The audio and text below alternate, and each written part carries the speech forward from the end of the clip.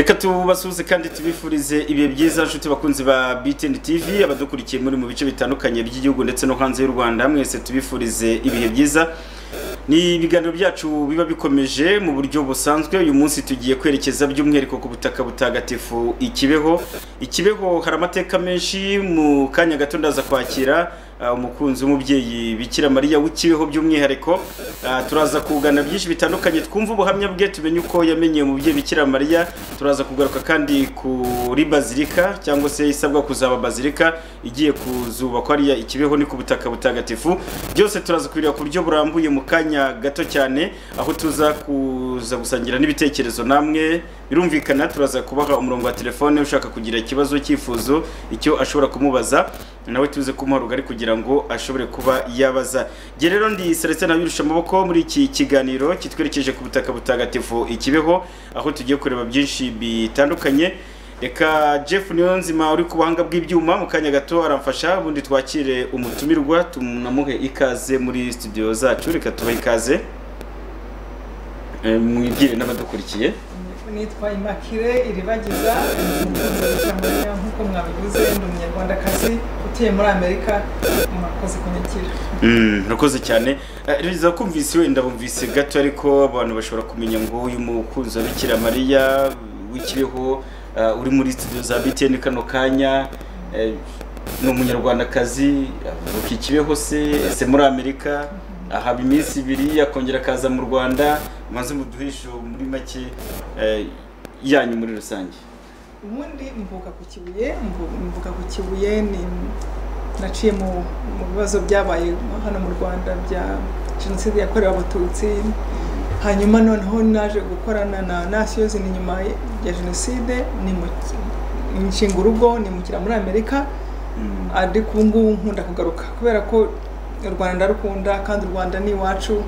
Noneho nkakunda na Bikira Mariya nkunda kuzana abantu baza ikibeho kuhasengera Mm. ndibuka kera Bikira Mariya abonekera yajyaga avuga ati bana banjye nimumfashe nimumfashe Mm. muzanzanire n'abandi bana ku Mm. buryo rero urwo rukundo nta rwigeze rumvamo ni ibintu byatangiye mfite imyaka cumi n'umwe Mhm. muri mirongo inani na rimwe ku buryo mbese ntabwo urwo rukundo rwigeze rumvamo ndamukunda nda- nkagerageza no kumubwira abandi. Mm.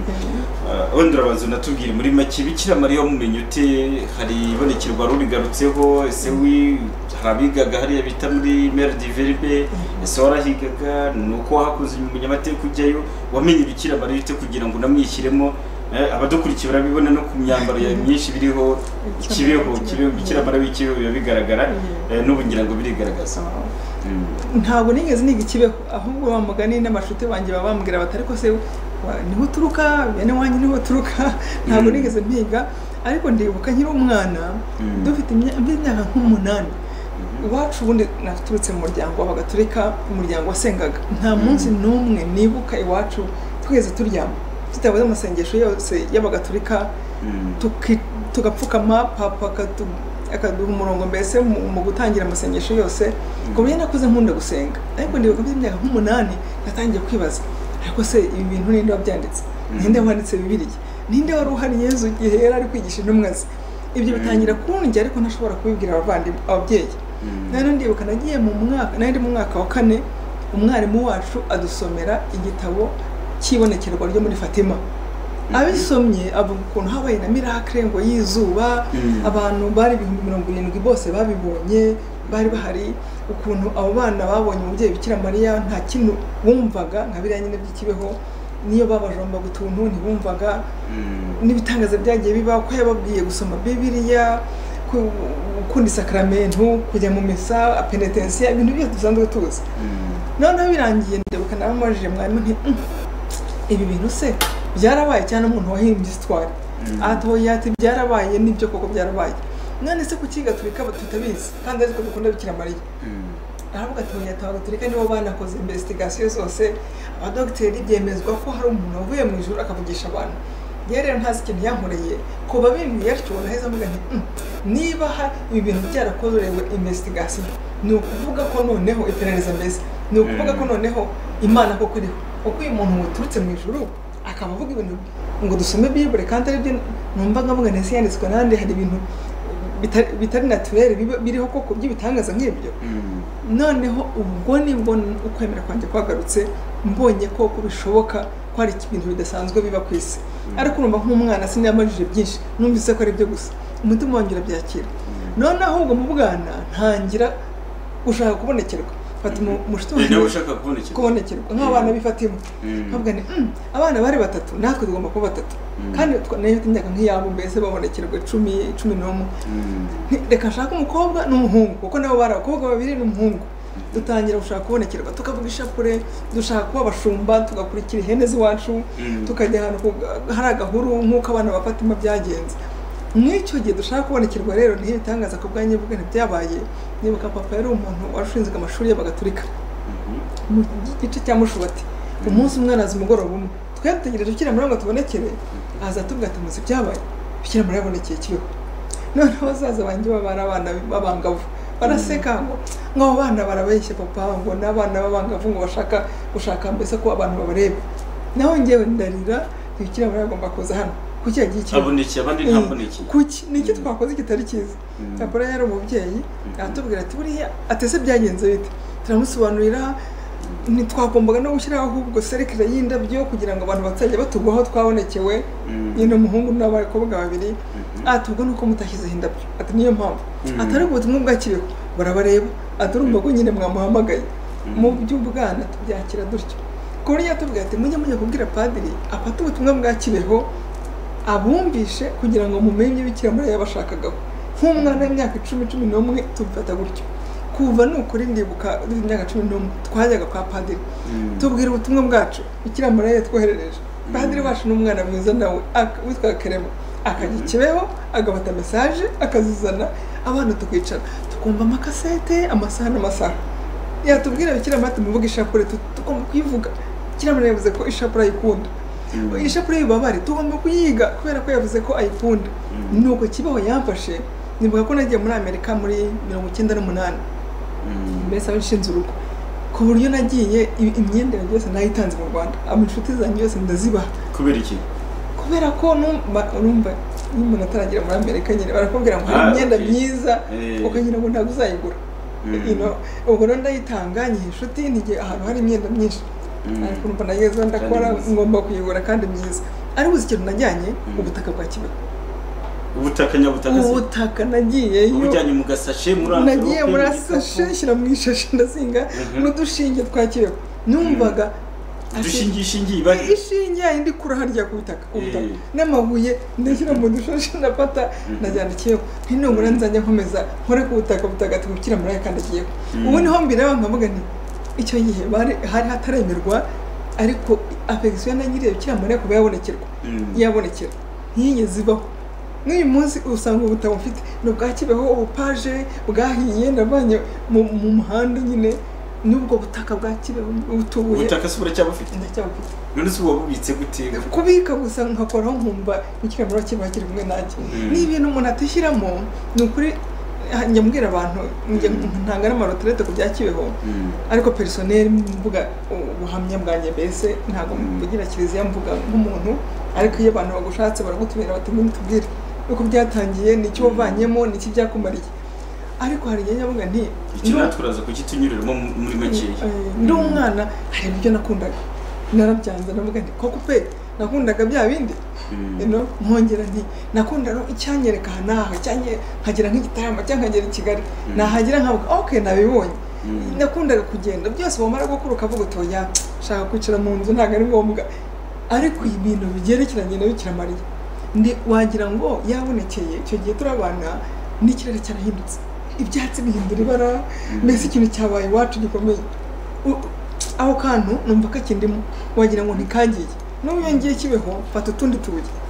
Nkatujyana nkumva udukura hise buriya hariya iruhande rw'iriya shapeli harya hoya harya hanze bikira mariya yabonekeye Mm. kuko urumva najyaga njyayo bikira mariya abonekera tugahagarara amasaha nk'umunani dutegereje ngo abonekere akabonekera abuze cyose ukumva bi- bisa nk'ibyiyanditse ku mutima wawe. Mm. Eh, urumva rero ndacyabikomeje. Nibyo utakwivanamo Okay Eh, hanyuma tubwira uburyo wajyanye eh, ubutaka n'ishinge urajyana ukavuga uti reka mbijyane muri amerika Mhm. nk'umukunzi wa bikira mariya w'ikibeho. Yeah. ariko hari amazi y'umugisha ngo asigaye anahari. Uburyo urayasiga? Oya ndayajyana na yo ndayajyana ujyana angana iki? Njyana akabido Mhm. Eh, nkagashyira mu ivarisi kagenda nkagasangayo ndayahorana amazi ya kibeho. Kimwe na yarurude byensuri ndayajyayo naho njya mu bufaransa. Ariko kibeho Mm. Ifite ubundi mm, Mm. Ah, ura- uratubwira ukurikije umwihariko wabonye kibeho hari ahandi eh, wenda ujya basenga cyane bizera umubyeyi bikira mariya cyangwa se bamwemera mu buryo bufatika. Eh, utugereranyirize uti kibeho n'ahandi nagiye ngasanga bemera umubyeyi bikira mariya umwihariko wa kibeho nasanze ari cyangwa umwihariko w'aho handi oh, okay. Urabona cyane cyane mu butumwa. Mu byerekeranye nk'inyubako n'ukuntu bakira abantu ikibazo turacyari kure. Wumva mbese ari n'ikintu kigutera aga- kintera agahinda ngewe Mm. havuga ni ko natwe yahabonekeye ari nyina w'imana byabaye nk'ahandi noneho dufite n'amahirwe ni ho honyine hemewe na kiliziya gatolika muri afurika Mm. urumva ni ikintu gikomeye pe iyo ugiye rero rero ukabona ukuntu hubatse yego bya- byabaye kera ariko ah, ukajya ahandi mu fatima naho narahageze Mm. mbese ahantu henshi bukira muri yagiye abonekera nagiye ngera ku buryo mvuga nti kuki iwacu hatameze gutyo aho karababaza ariko nta kibazo kandi natwe turacyubaka turacyiyubaka Mm. ariko ubona ko bikenewe na byo. Noneho ikintu aho bihurira n'ahandi kandi binatandukanira ni mu butumwa. Mm. nyine usanga nka rurude za fatima bikira mariya yarabonekeraga akabonekera iminota icumi iminota Mm. cumi n'itanu. Ariko ikibeho yaje nk'umunyarwandakazi. Aza nk'umubyeyi w'umunyarwandakazi akabonekera amasaha ane. Hari umunsi yigeze kubonekera amasaha umunani. Ibyo bintu ugasanga ntabwo bitangaje mu kinyarwanda. Mm. ndibuka ko kera abapadiri bo b'i burayi bajyaga bavuga bati ariko si uyu ni bikira mariya ko adasanzwe atinda bigeze ahangaha noneho abapadiri bo mu rwanda bo bakavuga bati "Mm, ahubwo uyu ni bikira mariya none se umubyeyi w'u rwanda ntajya asura umwana iminota itanu?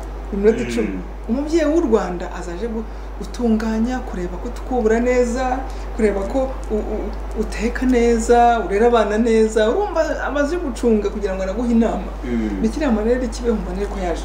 Yaje nk'umunyarwandakazi ibyo rero ndabikunda kubona ukuntu yubashye umuco wacu. Ndibuka ko urabona mu kinyarwanda burya iyo tujya gusezera ntawe usezera ngo uhaguruke ngo ahite agenda. Yego. urabanza ukavuga uti ngaho rero ndagiye ngiye kugenda. Rimwe na rimwe bakaguha akandunywa gakeya mbere y'uko ugenda ngendo. Eh, nkanjye rero mu mahanga umunyamerika aza gusura ahubwo ati ndagiye ahagaze. Mm. ukabanza ukabasha guti ndetse gatoya. Ati kubera iki? U- ukugeraho ugeze ukabimenyera. Iyo akubwiye ati ndagiye ubwo uzi ko nyine uhita uhaguruka. Nawe ati sawa. Yaragiye ntabyo no gusaba uti wabaye uhagaze. Yavuga urashakaho iki? Kuki uri kugenda? Uramarira umwanya. Uramarira umwanya cyangwa ushakaho iki mbese? Mm. ko twavuze ibyo twagombaga kuvuga. Mm. Mu rwanda rero kuvuga uti ndagiye umara ako kanya. Bikira muri kibeho sinzibagirwa umunsi umwe nari mpari. Mhm. aravuga ati bana banjye rero ati ndagiye umwana ati kuko uragiye nonaha? Kandi ariho ukiza. Erega barabanza bara- basa nk'ababurana bigeraho isaha ariko se mwarimo ariko ko nuko byagenda nuko byagendaga yarabyinaga akababwira ati akabigisha indirimbo nk'akunda umubyeyi wo mu rwanda. Muri make mbikira mariya dushatse twamufata nk'umunyarwandakazi? N'ubundi niyo nabivugaga Eh? ni umunyarwandakazi. Mhm. ujya wumva ukuntu banavuga baravuga bati avuga ikinyarwanda. Kimeze nk'abasogokuruza kitavangiye. Nta rurimi rw'igiswahili ruzamo nta gifaransa nta cyongereza. Ikinyarwanda cyiza cy'abantu ba kera. Mm. nawe akavuga kandi ati ndi umunyarwandakazi. Mhm. nta nawe ati ndi umunyarwanda ndi umunyarwandakazi. Mu kinyarwanda cyiza. Eh, Mm. Urumva ndabikunda cyane. Hanyuma eh, umaze kubikunda uri ikibeho ubu ngubu usigaye utuye muri amerika uri umunyamerikakazi. Ariko umunyarwandakazi n'umunyarwandakazi Mhm. byose ariko murakibaza ikintu kimwe. Ikibeho warasengaga ugasenga wisanzuye muri amerika nawe urisanzura se ubajyana ibya kibeho bakabyumva. Cyangwa urakubwira ngo kuki ushaka kutuzanamo ibintu by'ikibeho kandi twebwe turi muri amerika? Oya ni ukuri. Ahubwo byarantunguye muri amerika rero hari ikintu yenda tubona ubwoko abantu benshi bava muri amerika baza muri ibi bihugu tukababona bamwe bazanywe n'impamvu zitandukanye Mm. ariko sindabona igihugu abantu basenga nyagusenga abantu bahora mu maro bajya mu maroterete biyiriza abantu bagira ibiterane mbese abanyamerika barasenga pe ariko ni igihugu kirimo extreme ebyiri Mm. impande zombi Mhm. abadasenga ntacyo babwiye bakora ibintu na byo uvuga uti ni bike buriya mu rwanda dufite ukuntu mbona nkurikije navuga abantu benshi barasenga mu rwanda pe nyagusenga Mm. ariko n'umuco wacu hari ahantu dufatira ku buryo abantu badasara cyane Mm. none iwacu udafite imana ajya Ah, kure mbese bikabije Mm. nawe iwacu ariko hari abantu basenga koko ubwo rero ngewe kubera ibintu bya kibeho no kubikunda ngewe mbona ko ari ingabire y'imana Mm. duhabwa twese byinshi Mm. ku- gukomeza kwibuka kibaho no kuyikunda najyaga nyiganiriza abantu abantu Mm. bakambwira bati ariko wabyanditse ko dukunda ukuntu tubwira bikira mariya w'iwanyu uko yababyiniye uko yabigishije indirimbo. Ese ko yabaye umubyeyi nyamubyeyi? Nka mama tuzi. Tubwire. Mm. nkagenda nkabwira abantu nk'abangahe batatu umuryango. Mm. noneho ngeraho nandikita mvuga ngo reka nintroduce mvuge bikira mariya uwo ari we kuko bashaka kugira inshuti zanjye zumve. Nkisomye Mm. nyanditse nukuri kirantungura baragikunda cyane. Amerika uri n'umwanditsi w'ibitabo. Ndi umwanditsi w'ibitabo. Ndi umwanditsi w'ibitabo. Baragikunze noneho gutangira no gutanga amaraterete kuri wa kibeho no kumuvuga noneho muri publike no mu mashuri abantu bakampamagara. Ngwino tubwire ukagenda uti ok ndarangije noneho. Nagenda nagera muri ubu nkasanga hari invitasiyo nk'icumi noneho. Mm. wagaruka natwe ukaza mu mujyi wacu ukatubwira gutya gutya. Ni uko byatangiye burama imyaka nk'icumi. Uzenguruka muri amerika gutyo. Untumiye ndagenda. Utanga ubuhamya Eh, tukabyina tukavuga ishapure nkavugisha ishapure y'ububabare bikira mariya yigishije kibeho Mm. noneho nkababwira n'umuco w'iwacu ukuntu yaje ameze nk'umuco w'iwacu nkanababwira n'ibyo twaciyemo muri iki gihugu kuko mu bimwe bikira mariya yavugaga yaravugaga ati nimukundane mwebwe ko muri abavandimwe mwari mwe n'imana imwe Mm. mwese muri abavandimwe Mm. mukundane uwagiriye n'abundi musabane imbabazi kandi mubabarirane nimutabikora dore ishyano rigiye kubagwirira ikintu rero nkunda niko bikira mariya yanavugaga ati Mm. kubabwira ntibivuga ngo ubutumwa bwanjye bureba u rwanda gusa nta nubwo ari afurika gusa ahubwo n'isi yose. Mhm. iyo mbabwira ngo mugarukire imana muhindure imitima ama- amayira akigendwa mukundane mwumvikane mbese musabane. Urumva ishyano ryarashyize ri- ri- rigwa iwacu Mm. kandi urumva ni ibintu nanjye noneho byanankozeho. Ni umuntu waciye muri ibyo bibazo ubu nihishe ahantu muri jenoside nihishe muri tuwarete ya emetre metero imwe kuri metero imwe n'igice n'abantu barindwi. Turi umunani. Tugumamo amezi atatu. Ikintu nari mfite ni ishapure papa yampaye. Dutandukana cyonyine. naravuze ishapure n'ingenzi imana. Nkumva mbese yezu ari kumwe nanjye koko. Mm. ubwo rero nkabona ayo mezi agenda angarura ku kintu cya ngombwa. Ubona rwa rukundo rw'imana nabasabaga Mm. kwa kubabarirana nabasabaga kwakirana nk'abavandimwe ba mama umwe na se umwe nabasabaga dore iyo bitabaye ishyano riba.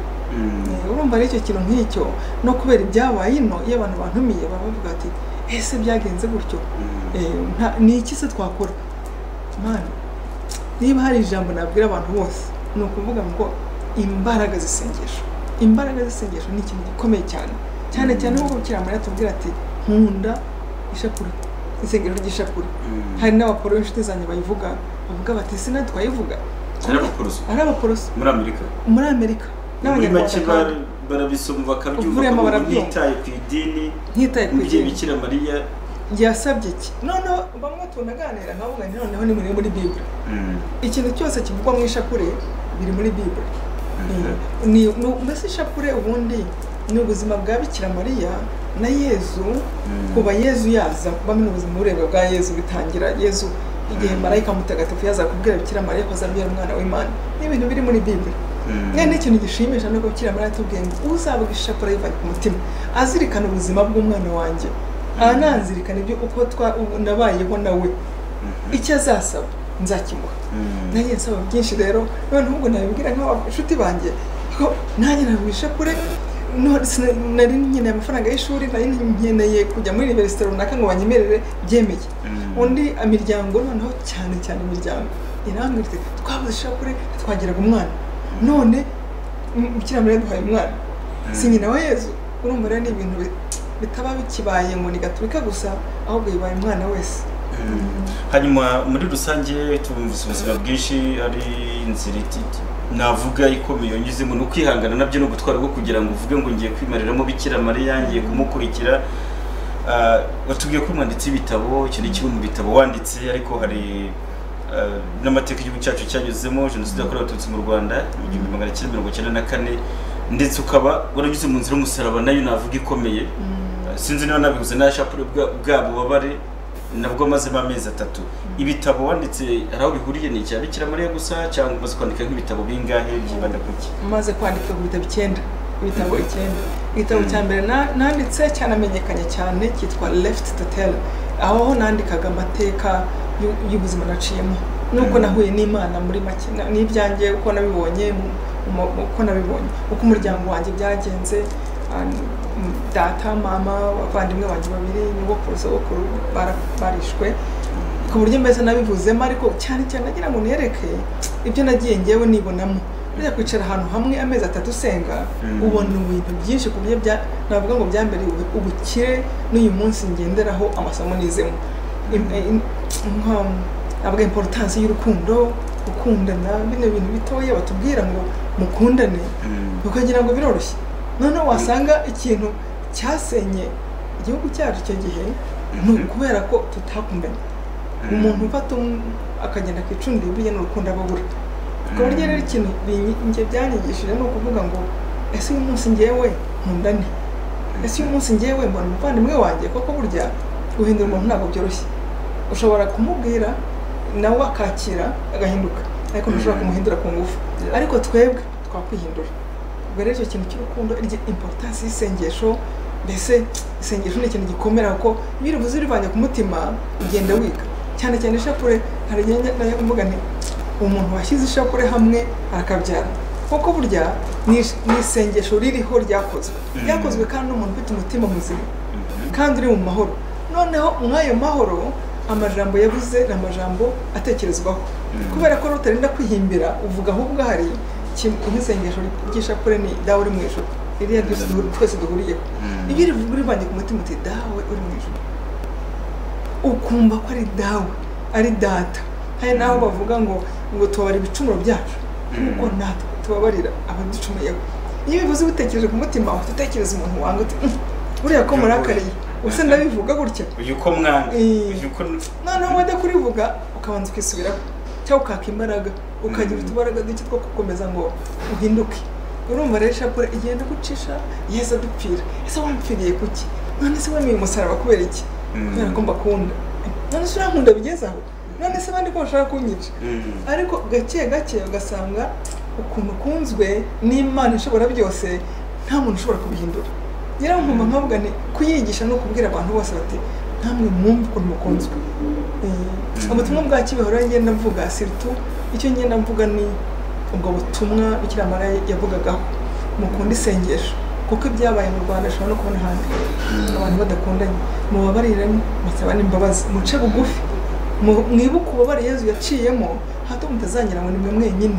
Ni ukuvuga ngo uvome- uvomemo imbaraga. Imbaraga zo kwihanganira ibyawe nawe si ukuvuga ngo wemere ikibi cyangwa umuntu akugirire nabi ahubwo ni ukuvuga ngo ugire imbaraga kuko burya umuntu wababaye umuntu wababaye akeneye imbaraga. Mm. urebye kumuba hafi kumuhumuriza Mm. no kujya kuvuga kwanjye muri publike nkunda kuvuga ngira ngo nkomeze umuntu ubabaye Mm. uti nabiciyemo dore uko nabigenje Mm. ubwo rero nanditse ku mateka yabaye iwacu ibitabo bibiri nandika ukwemera siruta uko imana nagiye nyibona amasomo navanyemo nandika kuri bikira mariya wa kibeho nandika no kuri rozari imbaraga za rozari isengesho ryanyijije. Mm. kuko nagendaga mbona umurongo.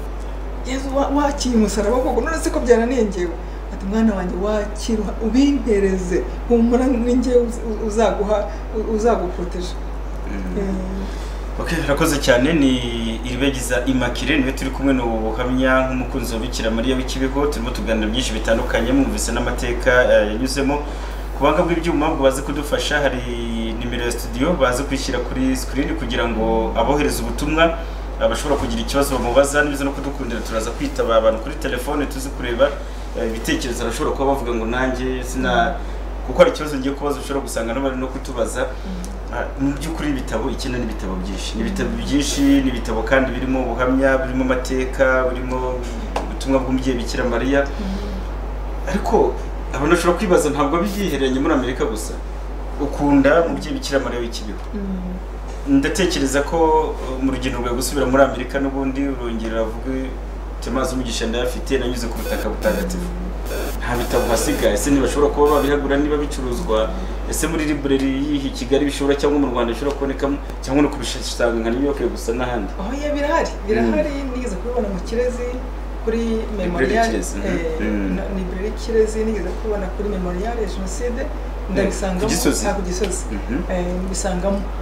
Ariko urumva u rwanda ntirurwa ku mutima nibo nandikira Mm. Eh, nubwo bimwe bitarashoborwa guhindurwa mu kinyarwanda ariko nabonye abantu benshi bazi icyongereza ino Mm. Eh, abana cyane cyane birantangaza ko hari abo duhurira mu nzira bakamenya Mm. twasinye igitabo cyawe Mhm. warafashije wampaye imbaraga nanjye mu byanjye Mm. rero ndabikunda Ah, ikindi kandi nkaba aho ndi nzana abantu gusura hano kibeho baza gusura u rwanda dufite igihugu cyiza ku buryo kubwira abanyamahanga u rwanda ntabwo bigora ya nagira ngo na byo tuze guhita tubikomozaho. Hari uburyo uvuze na mbere ko tureba uburyo uzana aba muzana n'abanyamahanga kuza gusura u rwanda by'umwihariko bakajya no n'ikibeho ku butaka mutagatifu buraza kutubwira niba hari n'icyateganyijwe cyangwa se ibikorwa tuzi bya kiliziya gatolika biteganyijwe kumva ko hazubakwa kiliziya nini ishobora kuzaba bazilika tubwire uburyo niba na byo bibakora ku mutima. Ariko mbere ko tujya kuri ibyo gatoya nakubonye mu mashusho ejo bundi Eh, niba nararebye neza ku mashusho nabonye ku bitangazamakuru bitandukanye bya hano nabonaga ufite indabyo eh, hakirwa umubiri cyangwa se eh, umubiri wa nyakwigendera padiri Obald ni umuntu wasengaga cyane nawe ngira ngo uretse wenda n'ibindi bihugu byo ku isi ariko mu rwanda umuntu wese arakubwira ndamuzi ahantu najyaga nabona agiraga igitangaza cyambagaho ibibazo indwara zigakira agasengera abantu. Niba ari wowe uburyo nta rupfu rwiza rubaho birababaje ariko uburyo byakoze ku mutima utubwire niba ari n'icyo yagusigiye cyangwa wamwigiyeho eh, muri rusange ngo tugikomozeho muri make.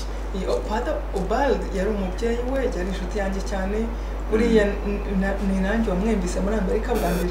Njya Eh. mutumiye Mhm. namutumiye rero kubera ko mbese nk'uko umuntu avuga n'ibyiza byose by'i rwanda nari muzi ari umuntu usenga abantu bagakira. Noneho nanjye kujya muri amerika mbona abantu bafite ibibazo nk'ibya hano buriya umuntu wese ni umuntu umuntu wese afite ibibazo acamo yewe dutandukanya impu dutandukanya byinshi ariko umuntu wese afite uburwayi afite ibibazo Mm. by'urugo wa kibeho yajyaga atubwira ati bana banjye nta muntu ku isi utagira umusaraba yikoreye Mm. ahubwo mujye mworoherezanya aho kugira ngo mwongerane imisaraba Mm. ubwo rero nahamagaye baride ngira ngo aze arebe abo bantu b'abanyamahanga tutanahuje n'uruhu ariko abasengera kuko nabo nabonaga ko bafite ibibazo kuko Mm. nabimenyaga nabonaga ko ari abantu nk'abandi nk'ab'iwacu Mm. aza bwa mbere arabasengera. Abanyamerika baza no kugira isoni bati reka bavuga ko twakize umuntu n'umwe wo muri afurika aje kutubwira ati tumwirabura nuje gusengera umuzungu n'iki bigaragara None padiri Obaridi nyine afite no kwemera gukomera Imana. Yanyigishije byinshi yanyigishije gukunda Imana. Mm. mbese kwitangira Yezu n'imbaraga zose n'umubyeyi Bikira Mariya. Ubwo rero nyine yaraza akavuga ati kanaka wari urwaye impyiko kanseri arakize. Mhm. umunyamerika ati urabivuze utyo kuko ubwo birabaye. Mm. undi ati "Wa- wari ufite umwijima urutugu rwamuryaga utazamuraga akaboko arakize. Bagaceceka ati Mm. muhaguruke se. Ari jya wari gukora taranzirasiyo Mm. bikansetsa rero kubera ko uzi ikinyarwanda nuko abantu bameze bamaze kubamenyera. Mm. Ntibaha- ntibahaguruke ariko amaze kugenda. Nabonye amaretere wa muntu burya ndi ndwaye kanseri? Nagiye kwa muganga bambwira ko nakize. Mhm. burya niba mfite urutugu rutakizamuka nagiye kwa muganga wa mupadiri mutubwirire. Noneho padiri Obaridi- abazungu ariko baguha Ni benshi ariko ubwo noneho ahubwo mu nshuti zanjye haza gufatamo bamwe bavuga bati umva rero ufite akazi kawe nawe urimo ntuzashobora kumwitaho ngo ujye umuzana kenshi reka twebwe dufite umwanya. Tumuzane tujye tumujyana. Mhm. ni bwo yatangiye neza muri amerika.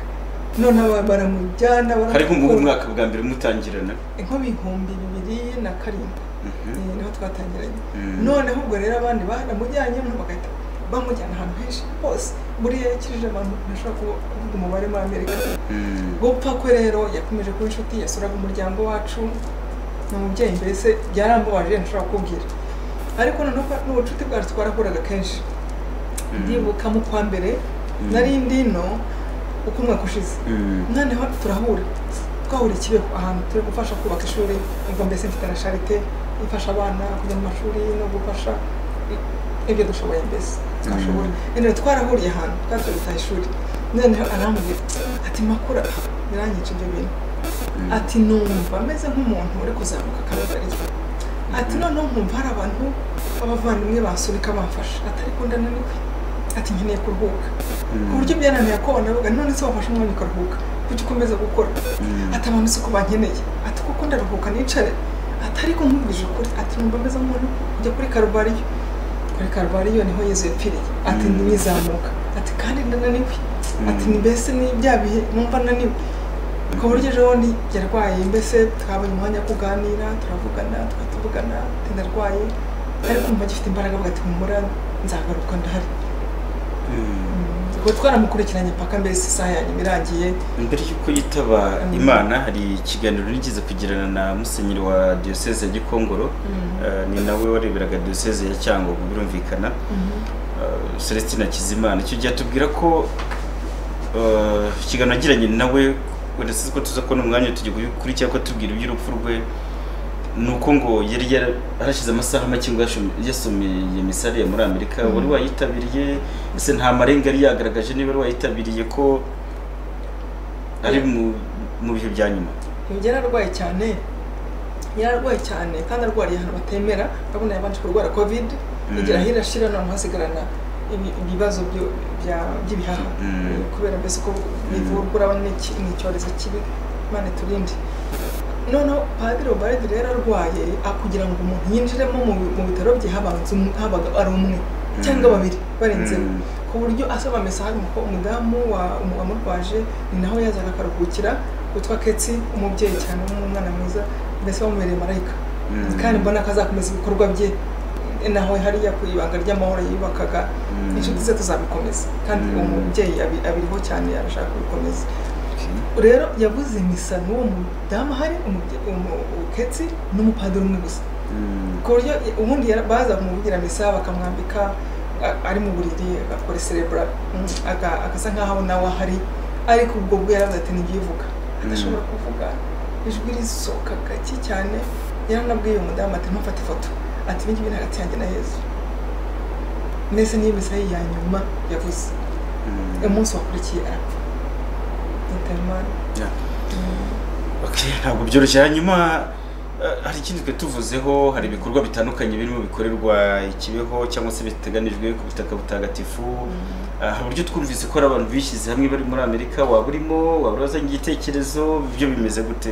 Mbese abo izo nshuti nagendaga mbwira bikira mariya wa kibeho kandi bampamagara ngo ngwino tubwire mbese na yo byarantunguye ko mbona ko na byo ni kwa gushaka ko umubyeyi bikira mariya burya akora byinshi yadukoreye Mm. byinshi.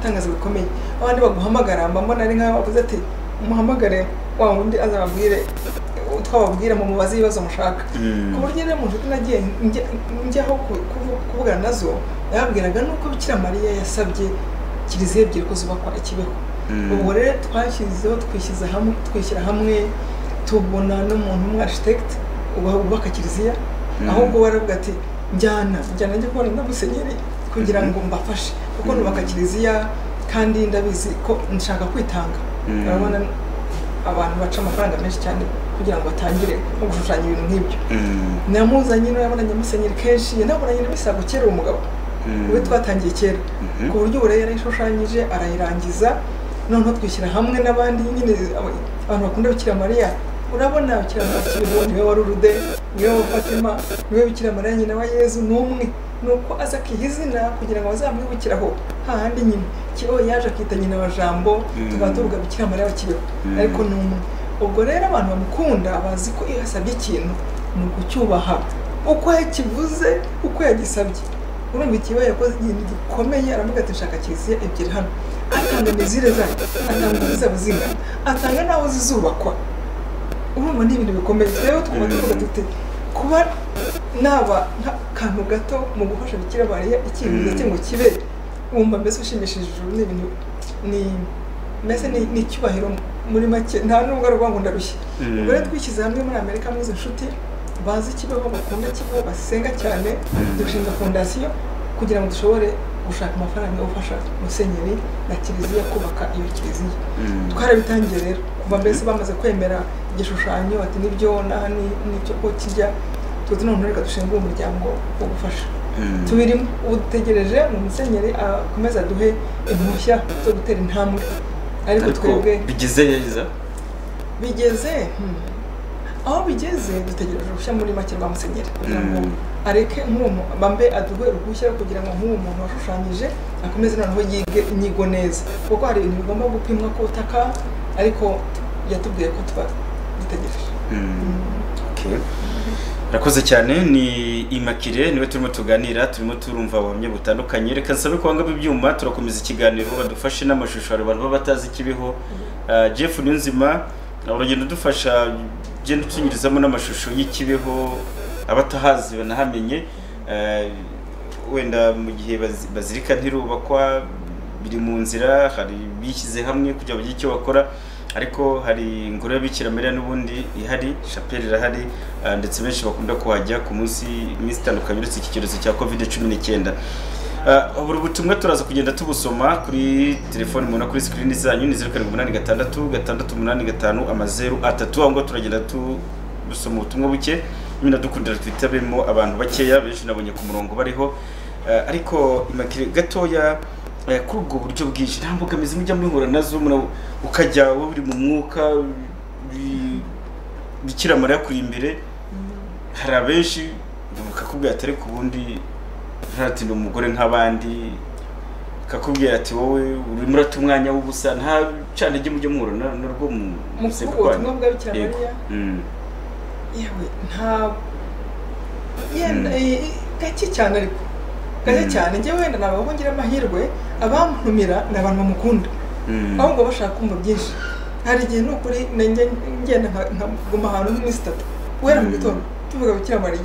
Tukavuga ishapure tukamubyinira ukavuga ubutumwa ubu- yavuze ubu n'ubu abantu bagatanga ubuhamya nanjye nagize ntya narayibuze bigenda gutya. Yewe bikira mariya se ejo hari ejo bundi narabikunze Mm. nkunda kuza mu rwanda. Urumva mfite umuryango hano ndacyafite inshuti kandi kandi igihugu cyanjye uburyo nza kenshi noneho rero nkunda kureba iyo uri hariya biba bitandukanye rimwe na rimwe abiriya hirya ndi banavuga cyane ngo bakubwire ariko amamukunda baraguhamagara rero ubundi nagiye muri taxi hano mu rwanda. Mm. mbona umuntu mbona ishusho y'ikira mariya gakeye gatoya. Mm. ndishima nyine wumva iyo ngiye ahantu nkabona ifoto ye ndabikunda mbona perezidanse ye ihari. Mm. ari kumwe ati ndahari. Noneho mbaza uwo mugabo wari utwaye taxi ntese uri mu gaturika ndi kubona ufite bikira mariya. Mm. arambwira ngo ya nta wundi mu gaturika. Mhm. nende ko ufite bikira mariya? Aravuga ati "Ye, bikira mariya si nyina wa yezu se w'imana yanjye? Nagiye ikibeho ati hanyuma abagatulika bari ba- banjyanyeyo baramungurira. Ati- ariko ni ikimenyetso cy'umubyeyi w'imana. Mm. ati ariko wowe umuntu wahebuje abagore bose umugisha. Noneho narishimye yabivuze neza neza ngo rero ubuje abagore bose umugisha ngo gusa kuko ngo utamwemera ngo reka bibiri irabitubwira noneho ankorera agashya arambwira ngo ngo twubaha fesi redi wacu ngo turamukunda ngo turanamusengera ngo none ngo umumarije umuntu ngo fesi redi w'isi yose. Niko yahise avuga? umugabo Mhm. utari Mm. ngo fesi redi w'isi yose. Ngo noneho uriyimarije uwo ari we? Mm. ni umugabo mbese namwishyuye tagisi mushyirwaho na tipu yo kwishima gusa. Noneho arareba aravuga ati kuki se oya nturi inshuti ya bikira mariya. Imana iguha umugisha nawe umwe umwe fata. Mm. okay. Urakoze cyane ubwo mu kanya gato turagenda dusatira umusozo kugira ngo n'izindi gahunda za televiziyo zikomeze ndetse namwe gahunda zanyu zize gukomeza kuko ndabizi ko zihari nyinshi. Ariko nabonye naho ubona ubundi bikira mariya bahari nabonye eh, ndashaka bikira mariya menshi. N'ibyo ndayagira menshi sinamenye ko yabaye menshi. Mm. ariko impamvu ndibuka kera mu butumwa bikira mariya yaduhaye kibeho yavuze ngo mujye mwubaha amashusho yanjye. Mm. kandi ahantu hose hari ikintu gitagatifu ni ukuvuga ishusho ye umusaraba. Mujye mwubaha.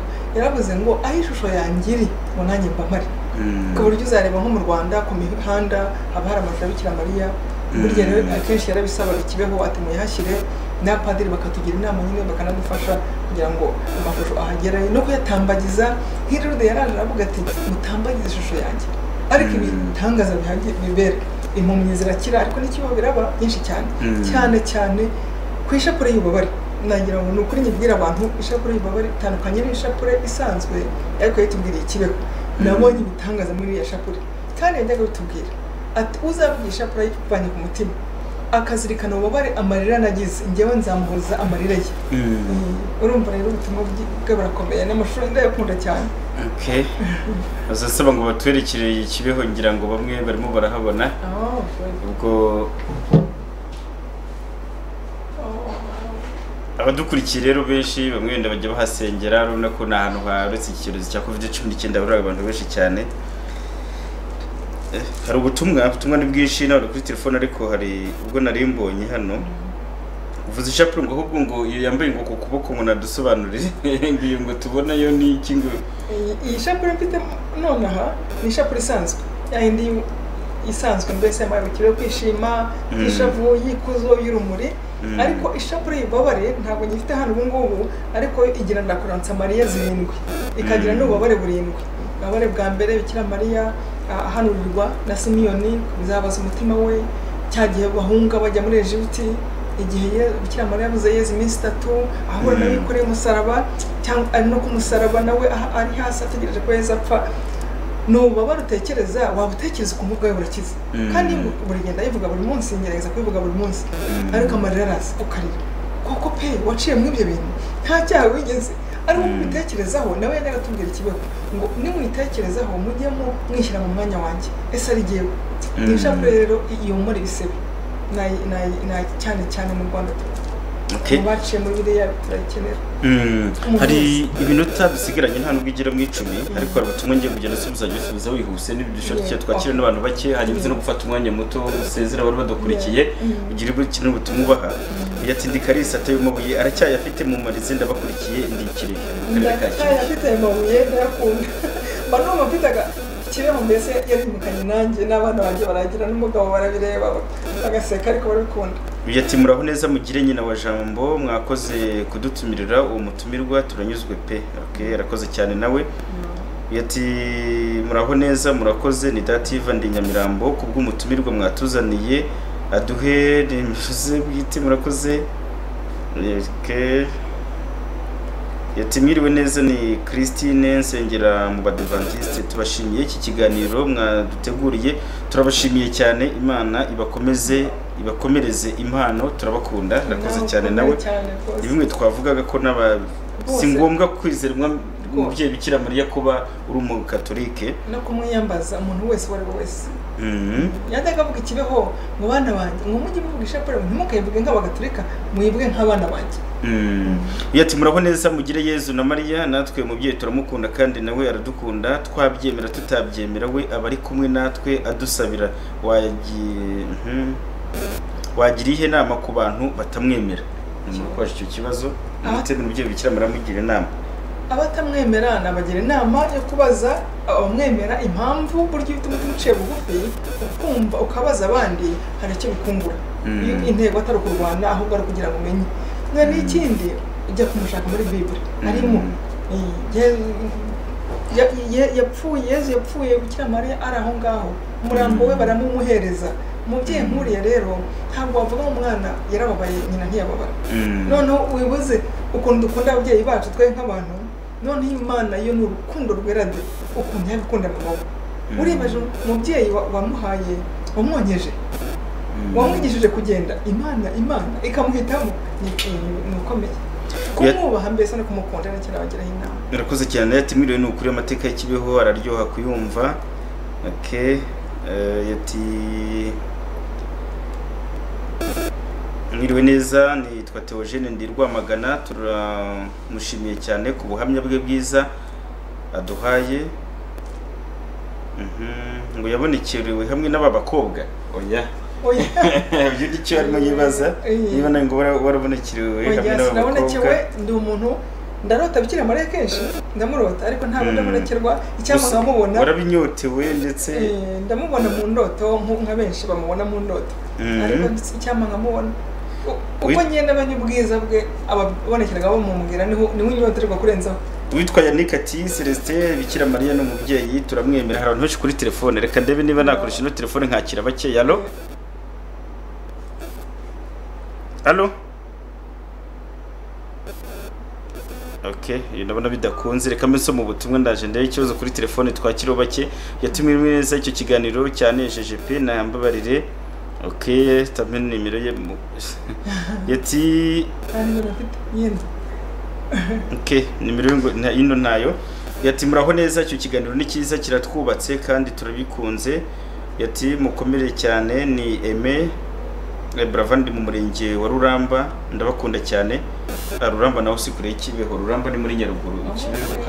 Hafi y'Kibeho Ruramba ndahazi. Rero n'abantu bari Kibeho twite tunabasuhuza. Muraho neza? meze neza ninde tuvugana uherereye he? Ok uyu nguyu ntabwo byumvikanye yahise agenda. Yati none se tumwemerere tumwemere n'umwana w'imana cyangwa n'imana? Mesaje yohereje. Sinzi niba ari bikira mariya ashatse kubaza cyangwa ari umutumirwa turi kumwe. Ndavuga none se tumwemere ni umwana w'imana cyangwa n'imana? Ariko ubwo ni bikira mariya avuga turi abana b'imana twese. Mm. ariko hari umwana umwe w'imana tuzi ko ari imana kandi nawe ni yezu bikira mariya yajyaga aratwibutsa ikibeho ati mujye mwibuka ntabwo ndi imana. Ngiye muransaba nkabasabira ntabwo munsenga uwo musenga ni imana imwe gusa. Ati ariko mbahorera ku mavi bana banjye. Ok urakoze cyane. Halo ok. Umwanya uratugendanye reka nsome ubutumwa nka butatu. Telefone ni nyinshi sinzi akabazo k'ubuzanzira gahari ubutumwa nabwo ni bwinshi cyane. Yatumiriwe neza ati nanjye umubyeyi bikira mariya turamwemera cyane. Arakoze cyane. Yati mwiriwe nitwa Eric none kumwiyambaza utera ivi nta kibazo. Yo nta kibazo. Ko- gutera ivi? Gutera ivi ntabwo ari bibi rwose. Sûr ni, ni, Mm. isinya y'icyubahiro. Kumunamira kuba watera ivi ukamubwira Guca bugufi. mbese ivi ni uguca bugufi ntabwo ari ukuvuga Mm. ngo ndasibye gusenga Mm. ushyira ibiganza hamwe ukamwubaha kwa kundi twara neza n'imbere y'umuntu mukuru umuntu mukuru hari uburyo umusuhuza umusuhuza. akagaragara ko umuhaye icyubahiro Eh, kumuhaye icyubahiro nawe rero burya ku mavi ariko ni nyina w'imana ni umwamikazi w'isi n'ijuru Mm. Eh, murakoze cyane gutumira uwo mutumirwa turamushimiye ni Alexis Ndi Muhanga yati murakoze cyane ku mutumirwa wacu turashaka kuzagira ikibeho. Ni Ange ndi umwadeperi ndi mu karere ka Gakenke. Yati mwiriwe neza ndashimira cyane umutumirwa uh, n'ubuhamya atanze ku mubyeyi Bikira Mariya. Nanjye ndamukunda cyane arakoze. Um, yati muraho neza imana ibaha umugisha ku bw'icyo kiganiro cyiza. Nitewe ndi nyakabanda. Imana ikomeze ibabe hafi. Yati ndaryohewe niryo jambo yanditse. Yati mwakoze cyane kutuzanira umutumirwa ni Cecile ndi mu Bugesera. Yati nitwa ingabire nkunda ikiganiro cyanyu murakoze cyane narakoze uh, message ngiye gusoma nka message zitarenze icumi nihuse kugira ngo dusoze kuko ni nyinshi. Yati mwiriwe neza uwo mutumirwa ndamushimiye cyane ku bw'ikiganiro mwaduhaye ni John ndi Karangazi yati mwiriwe neza nitwa Bernadette ndabashimiye kuri icyo kiganiro. Abenshi ndabona ubutumwa bwari bushimira kandi ni byiza gushimira urakoze cyane. Yati mwakoze kutugezaho ubutumwa bwiza kandi mudusengere. Yati Celestin udusigiremo nzataha Yerusalemu nshya ndakwinginze. Ubwo Jeff ku banga bw'ibyuma niba iyo ndirimbo nzataha Yerusalemu nshya iri hafi bwibahe yati mutumirwa azagaruke yes Eh, ariko n'abandi turabararikira iki kiganiro muzagikurikira kenshi. Uretse ubu eh, mubwire n'abandi kubacikanywe eh, turagishakira umwanya mu masaha y'ijoro ndetse no muri weekend imwe nko ku cyumweru kibafashe uburyo kizagarukaho. Yati nsanze musoje ndababaye gusa mwakoze ku kiganiro mwateguye ni Josiane Ndigasogi. Yati murakoze ku kiganiro muduhaye yati muraho neza ni Dorcas i Rusizi murakoze ku bw'iki kiganiro mutugejejeho. Abanyarusizi nabo reka mbashimire. Rusizi ni abantu mu gihugu dukurikira yati mariya w'ikibeho ndamukunda. Yati murakoze cyane ndabakunda. Ni aline. Yati ibyo mukora bikira mariya ntaho. Ibyo mukorera bikira mariya ntaho byanditse muri bibure yiwe niko avuga. Yati mwiriwe neza nejejwe n'uwo mutumirwa azagaruke twaryoheye turi murakoze cyane nitwa niyera mperereye i nyakariro uwo mutumirwa twamukunze cyane. Yati mwiriwe neza ni eh, nanjye ndi nkunda icyo kiganiro nitwa nadia. Yati murakoze cyane kuri uwo mukobwa ni mwiza. yati mwiriwe neza nitwishimwe twabashimiye natwe kuri icyo kiganiro. Yati murakoze cyane nitwa Alexis reka nsoreze kuri ubu. Ati ese koko kibeho habayo ibitangaza? Ni ibihe mudusobanurire ni rita twabigarutseho cyane ni byinshi. Um, yati murakoze cyane ku bw'icyo kiganiro. Umwanya rero uratujyanye ubutumwa burimo buraza ari bwinshi abara kuri telefone bariho ari benshi ariko ibihe ntibidukundiye. Reka mufate nk'umunota umwe mugire icyo mwamubwira abadukurikiye uh, hanyuma dusoze. Icyo nababwira ni ukugira ngo ngo ubishoboye wese azashobore kujya abaza ubutumwa bwa kibeho. Kugira ngo nyina w'imana aze gusura iki gihugu ari cyo yahisemo ari byo yashaka kutubwira kandi kubera ko adukunda. Nk'uko yasuye rurude muri france abantu ku isi bakaba babizi Mm. natwe twe kwirengagiza iyo umubyeyi yasuye abantu agira ngo bumve. Kandi icyo muzumva kibakoze ku mutima muzashyiramo imbaraga pe. Cyane cyane yaradusabye ngo tuvuge ishapure umuntu avuga ati ngiye kubivuga buri munsi. Kuko yaravuga ati buri munsi muzajya muvuga ishapure bityo bizabafasha kurwanya ibitero bya sekibi biza mbese kuri buri muntu mu buzima bwe. Mm. gukunda ishapure y'ububabare uzabishobora azajya ikibeho kubera ko yatubwiraga ati nimukore abwira abonekerwa ubwo nanga kuvuga ko isi yabonekewe Mm. ariko ubutumwa yatangaga kandi yahaga kuri twese ingendo ntagatifu. Muzaze hano ku butaka isi ngo ijuru ryakozeho.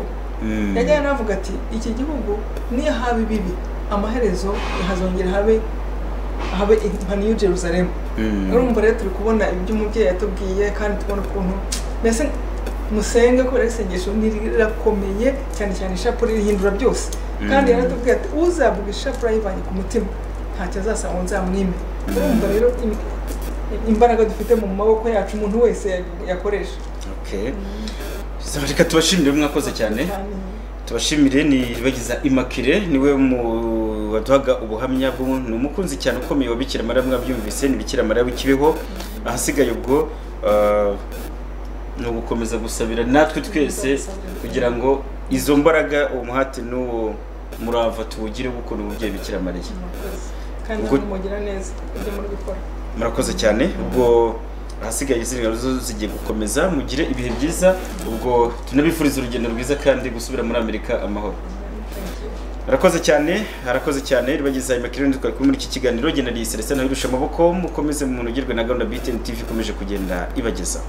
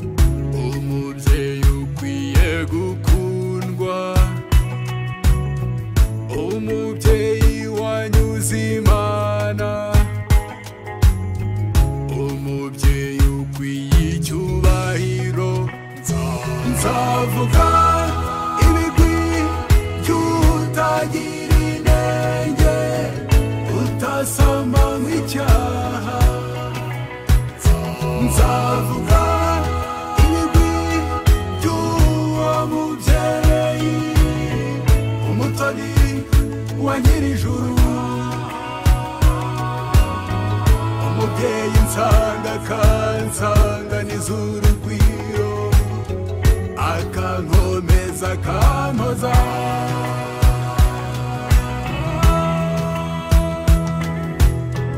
umubyeyi w'imico myiza.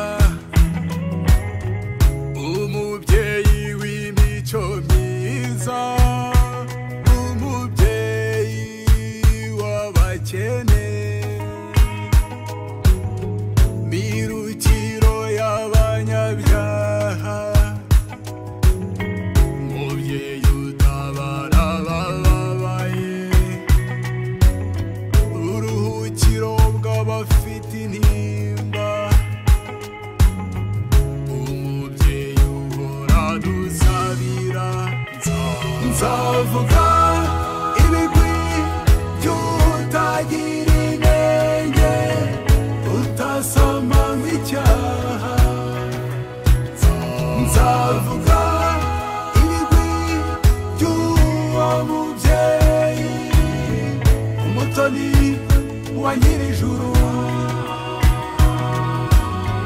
umubyeyi nsanga kansanganiza urugwiro akankomeza akampoza